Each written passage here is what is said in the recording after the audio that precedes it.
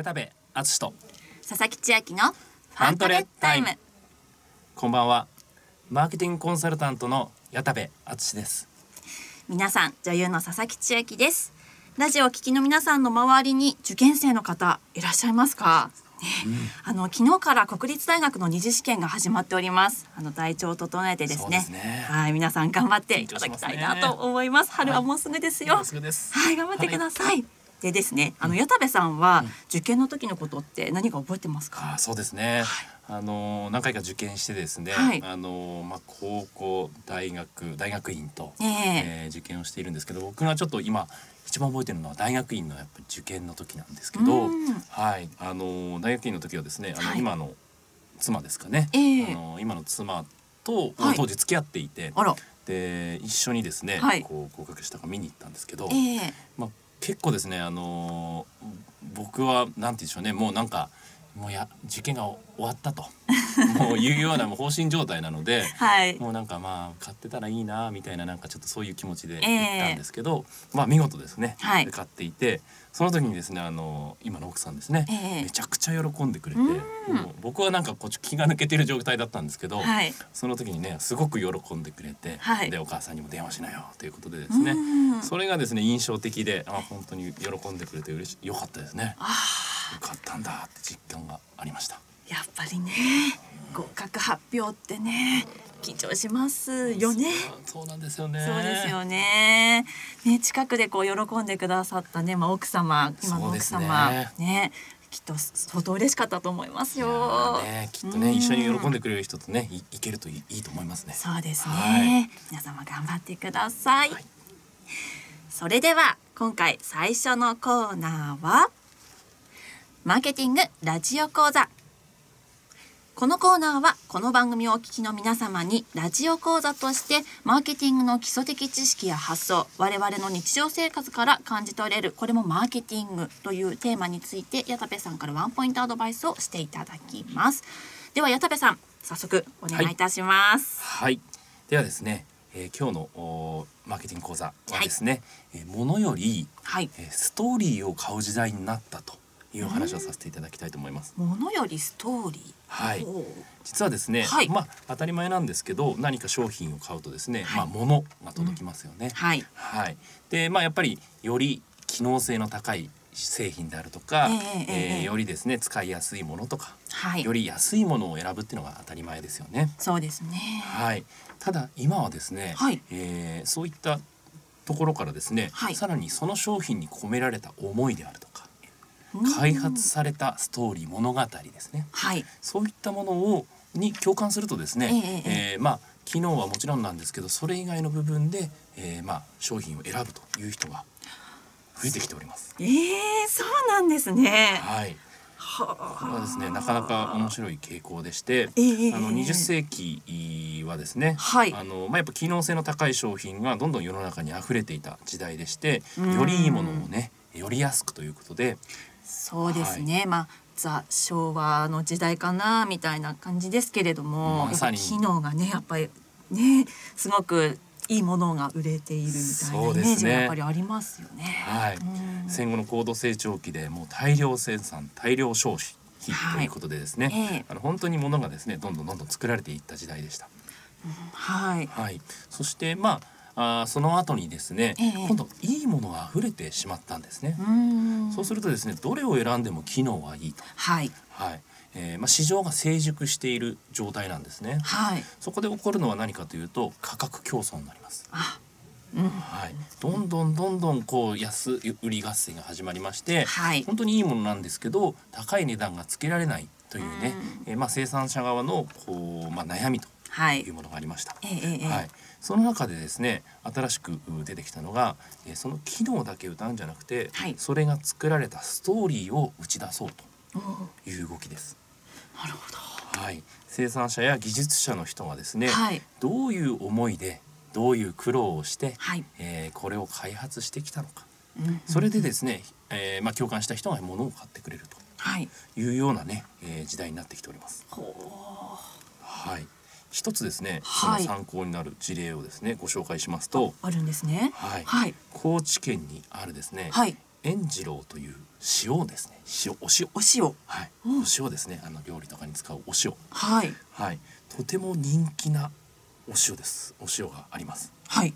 はい、いろんなね、えー高級料理店でも、ええええええ。えーまあ使われているようなはい。お塩なんですけど、はい。もうなかなか手に入らないということで有名になっております。それくらい皆さんご購入をされていらっしゃるということですね。大人気ですぐ売れちゃってなかなか手に入らないというね、はい、えーお塩なんですけど、なんでこれが人気になったかと言いますと、ええ。これもまたストーリーがありまして、はい。はい、ある男性がですね、はい。東京にまあ夢を追って出てきた男性がいらっしゃったんですね。はい。はい、ただそのやっぱり東京でですね夢が叶わなかった。うん夢破れた状態でですね、えーまあそれを諦めて、はい。高知県のすごい小さな町にですねええ。移住したんですね。はい。そこでえーその人が全てを捨ててですねじゃあ今度は塩にかけようお塩にかけようということで、はい。自分の塩を作り始めたんですね。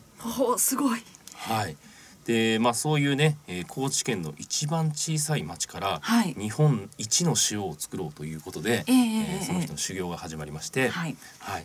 えー実際に何をしたかというと塩をとても丁寧にケアするということだったんですね。もう塩をケアする。はい、お塩を作る時にですね、はい。塩を定期的に混ぜないと海水からあの塩をですね混ぜていって、えええーええ塩を取り出すと、まあ、そういったことをしていくんですけど、はい。まあ、通常ですねあの、まあ、数時間に1回ね、えー混ぜたらいい方と言いますかそんなにずっと混ぜてられないんですね。そそうですね。い。なかなか大変な作業でしょうね。はい、ただこの男性はですね、えーそれをですねあの、はい。まあ、1時間に1回他の人ができないからこそ自分はそうやってやるんだと。はあ。真夏でも必ず1時間に1回、えー混ぜてですね、えーえー。話しかけてで、えーまあ本当にね子供のように塩に愛情を注いでいけば、はい。一番美味しい塩になるんだと。はい。一番手間をかける一番日本一美味しい塩を作ろうということでですええね、ええ。えーまあそういったことをどんどん発信していって、はい。ホームページ等でもこういうストーリーが書いてあって、やっぱりそれに共感した人がですね、はい。えー面白いから買いたいというふうにですねどんどんどんどん増えていったということなんですね。はあ。そのうちですねこのストーリーを高知県が全体で応援するようになってまた有名になって、そうなんですね。はい、もう人気で、はい。なかなか手に入らない塩になっていったということなんですね。はあこれはねストーリーやっぱちょっと惚れちゃいますよね、はい、そういったあのバックボーンがあったんだって思ったら、うんうんうん。よりこう愛を持って使おうって思っちゃいますもんね。きっとねもちろん美味しい塩なんですけどね、うん。あのそれを聞くだけでさはい。らになんていうか価値が上がるといいますすね。か一度食べてみたいなと、うん。思いますよね。は思いますよね。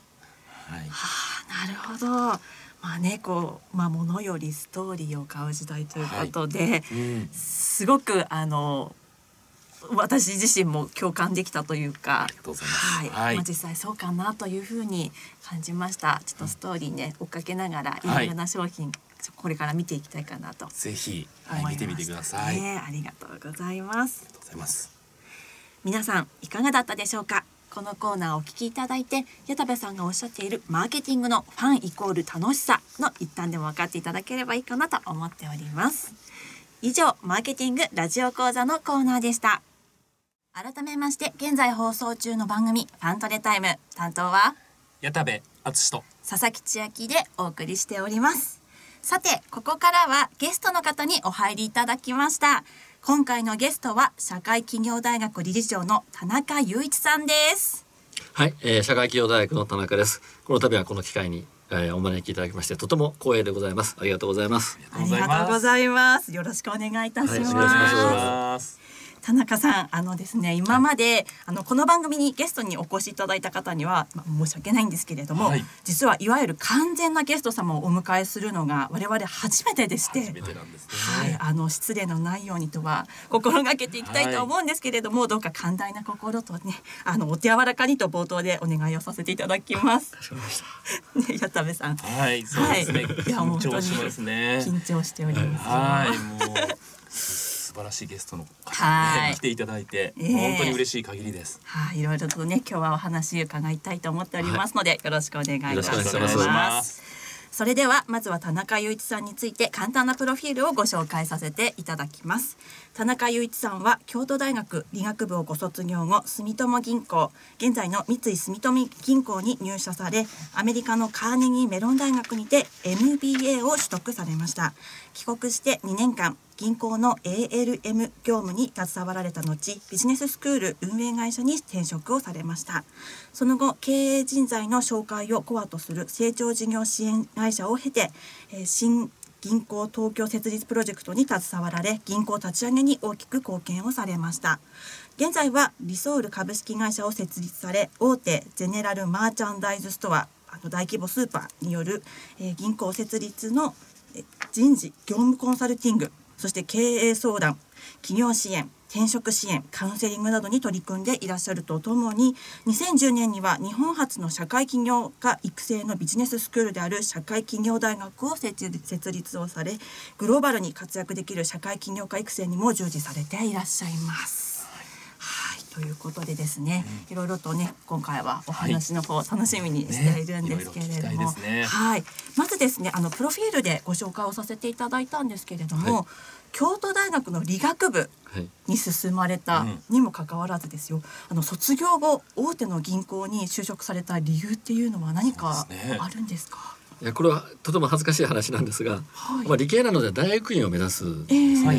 はい。だけど私大学院の試験に実は落ちてましまいまして、でもう一回受けろと言われましたが、ええたまたま私の父親がやっぱり銀行員でして、はい、うん。まあちょっと銀行受けてみろってうん言われて、まあ理系だったら探してるからと。はい、受けてみたらなんか気が合ってしまいまして、そのまま入社したという。あなるほどだからまあ今の新卒の活動の人たちは大変申し訳ないんですが新卒の活動してないんですねほとんど。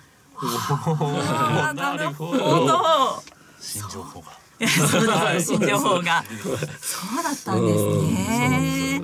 えー、あのこの銀行に勤務をされていらっしゃった際にですね先ほどちょっとプロフィールの中でもご紹介というかさせていただいたんですが ALM 業務に携わってらっしゃったということなんですがこのそもそも ALM っていうのは簡単にご説明いただけますとどういうものなんでしょうか？はい、あの、はい。ALM はアセットライアビリティマネジメント、まあ、アセット資産とはい。ライアビリティ負債マネジメントなんです。で、でもそれだけ言ってもよくわからないと。はい。もうちょっと説明すると、あの銀行って預金を集めますよね。はい個人の方から。ええ一方でその集めたお金で今度はお金企業さんに貸すとはい。貸金をすると。ええそうすると。まあ預金の集めたお金と貸金貸すお金が同じだったらはい問題ないんですが、ええまあなかなか同じにならないですよね。たくさん集めてあ貸しが足りなかったり貸し貸しが多かったりみたいな、ええだからここの部分の調整なんですね。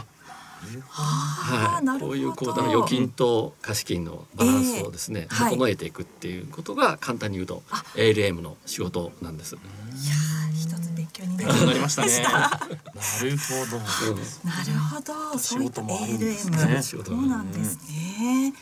あの銀行マンをされていらっしゃって、でそのビジネススクールの運営会社にこう思い切って転職をされたとはい思うんですが、人材組織開発コンサルティング会社の立ち上げにこうか参画されたきっかけっていうのは何かあるんでしょうか？はい、これあの銀行の時代に、ええまあ、留学をさせていただく機会があって、はい。海外に行くとですね、ええ自分が何をやりたいかっていうのを問われる機会が多いんです。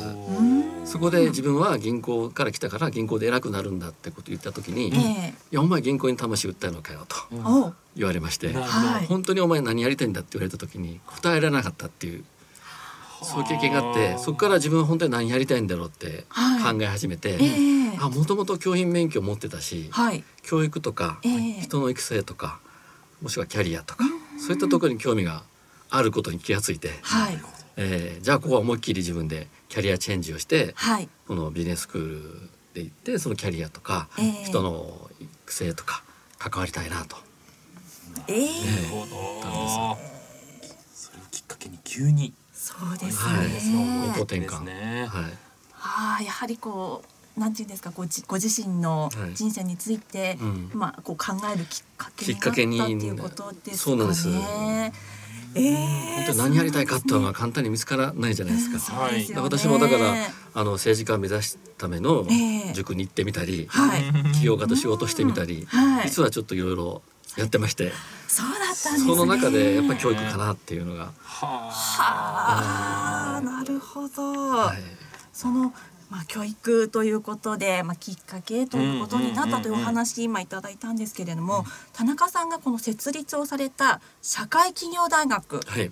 この大学ではどういったことが学べるんでしょうか？はい、あのまあもちろんそのビジネスのお基本的なはい。知識は、まあビジネススクールですんで得られますが、ええ。それ以外にまあその社会企業要は社会の役に立つ事業っていうのがうん。やっぱりあるので、そういった事例をですねたはい。くさん触れることができることもあります。あでプラスその最も大事なところはやっぱり自分が何をやるかはい。やりたいか、そういったこう自分らしさを生かすようなですね、ええ。えー自分らしさを生かして事業につなげていくっていうですね、うん。そういったところを大事にしてますんで、はい。その自分を見直す機会っていうのも多いっていうのが一つの特徴になってます。なるほどですね自分を見直す機会としても、結構やっぱりこう見直すって大事なことかもしれないですよね。はいそうなんですそうですね、うん、はあ、そうなんですね。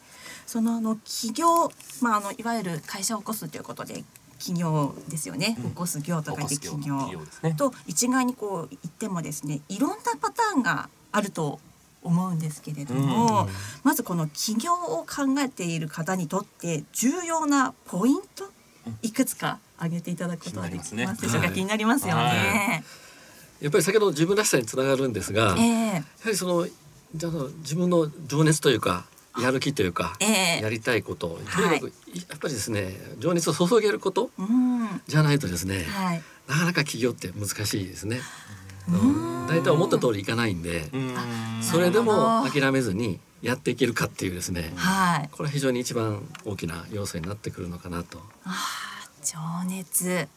では、でも、ど、いかがですか？そうですね渡部さんは。いやーもう今の話を聞いて僕本当胸が熱くなるんですけど、ええ本当に僕僕自身もですねやっぱりこう、は起業にかける情熱がすごく大事なのかなとうん。思っておりましてやっぱり先ほどねあの自分が本当に何をやりたいのかっていうところを一回ええ。見直して、でほとんどね、きょうまくいかないえ経営はうまくいかないことだらけなので、僕も常にこう自問自答をこうしながらあでやっぱり自分でやりたいって決めたんだからっていうことで最終的にはこうどんな困難でもまあもうーぶつかっていくとうんいうようなイメージがあるので、えーやっぱりその通りだなとあ感じました。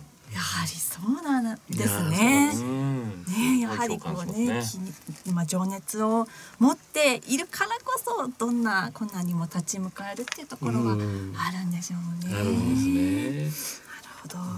あのこの番組なんですが、いマーケティングをよりこう一般の人にもねあのお伝えしていきたいということでコンセプトでその進めさせていただいているんですけれども田中さんがお考えになるマーケティングの肝と申しますか一番まあ一番はなかなか決められないと思うんですけれども、うん大切なことって何かございますか？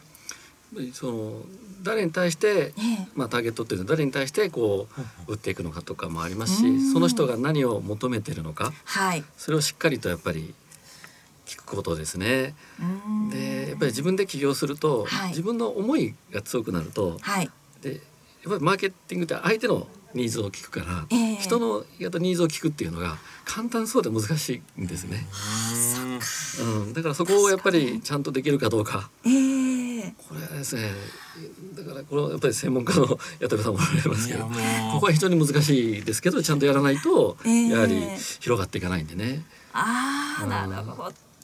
矢田部さんもやっぱりあそうですねそうなんですかね。はい、もうまさにこれももう本当にど同意見と言いますか、ええ打ち合わせしたかのようなことをあの言ってしまうんですけど、やはい。っぱりこう見えない相手と言いますかうん。これからね買ってくれる方、はい。えーまあそれもしくは今買ってくださってる方のことをどれだけ考えられるかが勝負なのかなと僕もすごく思うことがありまして、ええ。えーまさにですねターゲットニーズをいかに深掘りするかってところは本当に全く同意見だなと思います。ああでもね私は本当に全くその起業などはもちろんしたことはないですけれども、まあ、この情熱とそして、えっとそのターゲットという相手のことを考えてっていうことで、まあ、ご自身の気持ちとこう相反するところも多々出てくるんじゃないかななんて想像するんですが、やはりそこはこうお互いのすり合わせをされていきながら皆さんご起業されてそうなんですもうまさに今おっしゃった通りね。でそこをやれるかやれないかがへやっぱりその起業ができるかできないかになってきてやっぱり自分の思いだけだと独りよがりになってしまうんですね。うん。これがよくだから起業ってうさんくさいと思われる理由にもつながっていくんですけども、そこにやっぱりお役に立つっていうですね、はい。誰かが喜んでくれるっていうところと、そこをやっぱりいかにこう試行錯誤してはい。すり合わせていくかっていうあそれを続けられるかどうかっていうのがあーすごいうんすごいなと思いますね。なるほどね。すごくねいいおいいお話を聞かせていただきました。はい。あの田中さんのようなお立場の方からこうご覧になられてですね、矢田部さんのようにこう若くしてコンサルティングをされていらっしゃる社長さんどういうふうに思われてらっしゃるんでしょうか？いやまあ若くしていろんな方がいるんですが、ええ八部さんのお話聞いてると、はい単純にコンサルティングってええ。何かこう偉そうなこと言ってるようなイメージがすごくうん。あるんです。ただ、はい実際現場っていうか現実際やってることに基づいてご自身もこのマーケティングを実際に事業としてやりながら、はい。やってる経験に基づいてお話をくださるっていうのは、ええ。それはもう年齢関係なくですね。非常にやっぱりためになるんですね。ありがと。うございます。そういうことをもう若くして実践されてるっていうのはいや本当にすごいなと思って。私もすごいなと思って思ってます。もはいはい、拝見してるんですけれども、あのこの全くこう私ねあの企業とかそういったお仕事はもちろんしてないんですけれども、全く門外漢の私からのこうおすすめなんですけれどもね、あのこちらにいらっしゃる矢田部さんにぜひですね社会企業大学で特別講師としてお招きいただきたいんですが、田中さんいかがでしょうか？ああもちろんそれはぜひね。ありがとうございます。マーケティングのところ非常に重要だし、えいやーなんかこうねちありがょっととうございます。嬉しいです。私すごく嬉しいなというふうに昔から知ってる社会企業。そうなんですね。はい、僕も起業する時からやっぱり存じ上げてたので、えーじゃあこれもそれは嬉しいですね。ね。ご縁というのは本当に面白いというか、素敵だなというのを今日ねあの体験させてありがとうございます。いただきました。ありがとうございます。はい。それではですね、あの番組の方で特別コーナーを設けてですね、その模様を詳しく今後リポートさせていただきたいとはい思っております。はい。お願いします。ではこの辺りですでですねあの今回のゲスト社会企業大学理事長の田中雄一さんから告知などございましたらぜひお願いいたしますはい、えー、今度ですね社会協力実は10周年を迎えます。はいおめでとうございます、はいありがとうございます。ですね3月28日に、はい。まあ麹町の方ですが、ええ。10周年記念式典っていうのをですね、はい。やらせていただきますのでもしご興味ある方いればお越しいただけると社会協力10年何をやってたか、これから何をやっていくか、ええ。そういったことをですね見ていただけると大変嬉しく思います。10周年。10周年素晴らしい記念ですね。素晴らしい記念ですね、これからもねあの長く長くはい、あの大学の方もね、私もいつかあの行かせていただきたいかなと、はい思って、ちょっと野望をね、今ちょっとちらっと言ってしまいましたけれども、はいはい、思っております。ありがとうございました。今回のゲストは社会企業大学理事長の田中雄一さんでした。田中さんお忙しいところどうもありがとうございましどうもありがありがとうございたま。した。皆さん。なんともうエンディングになってまいりました。このファントレタイムは毎月第2、第4水曜日夕方5時30分からお送りしておりますので、ぜひ皆さん次回もお聞きいただきますようお願いいたします。はい矢田部さん、今回いかがでしたか？はい、今日はですね、社会企業大学の田中さんに本当に来ていただいて、はい。素晴らしいお話をいただきまして僕自身もですねやっぱりこう起業した当初本当に僕が起業を目指したのもやっぱり10年前ぐらいだったんですけどうんあの10年間やってきて、はい。やっぱりこういうのが大切なんだなってなんとなく分かりかけてきたものをですね、ええバシッと。今日こう言っていただいたのでうんなんかすごくですね心が熱くなるようなお話をいただきました。本当に楽しかったです。いやー私もねすごく楽しかったなという感じでしたね。ね。はいありがたいですね。それではファントレタイムまたお耳にかかりましょう。皆様のお相手は？矢田部敦と佐々木千秋でした最後までお聞きいただきありがとうございました。